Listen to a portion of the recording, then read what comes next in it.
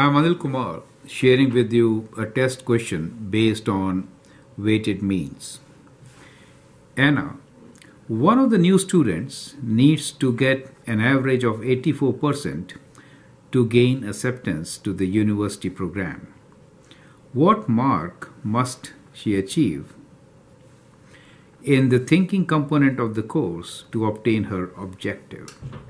So we are given some information here where the categories are knowledge, communication, application, thinking, project, assignment, and exam.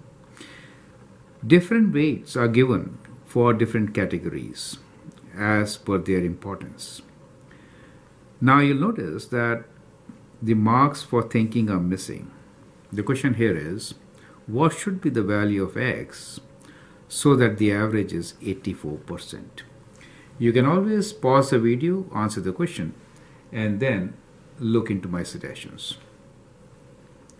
Now, whenever we have to work out the weighted means, we'll consider the product of each mark with its value, right? The weight.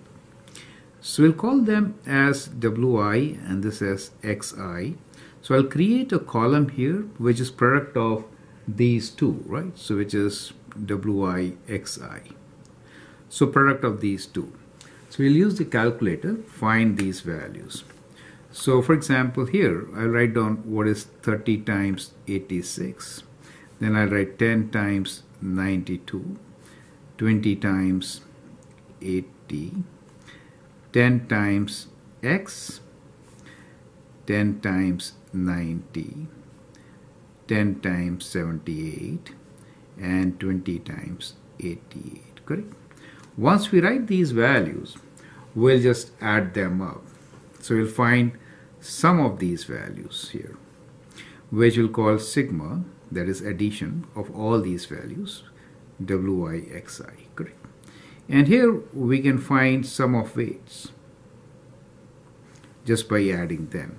So let's first add these values which are uh, 30 plus 10 plus 20 plus 10 plus 10 plus 10 plus 20 that gives us 110 so this is 110 now let's calculate these. And as we write we'll just add them up also. So we have 30 times 86 which is 2580 then we have 920 so 1600 so 10 times capital X we don't know what this X is that is 900 780 and this is uh, let's do it 88 times 20 equals to 1760 right? Let's add them up.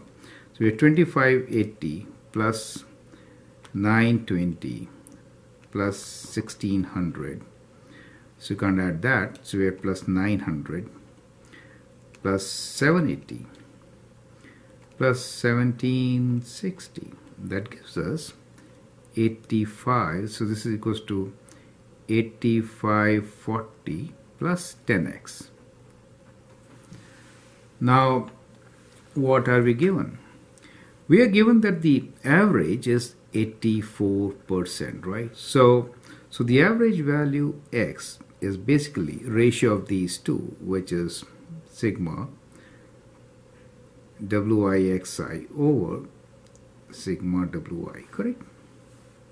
So that is to say, we have, uh, we could now write down this as x is given to us is 84%, that's what we want is equal to all this which is 8540 plus 10x over over 110 now we can rearrange and solve for x. So we have 84 times 110 equals to 8540 plus 10x right? Now and then to find the value of x we will write x is equal to, taking this to the left side, we have 84 times 110 minus 8540 divided by 10, right? So let's calculate this value. So we have 84 times, I'm sorry, 84 times 110 minus 8540 equals to divided by 10 equals to 70.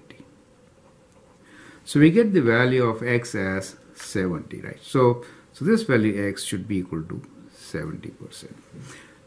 So that is how you can solve this particular question. So I hope the steps are absolutely clear.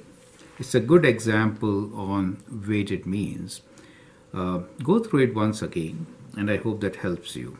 Feel free to write your comment, share your views, and if you like and subscribe, that'd be better. Thank you and all the best.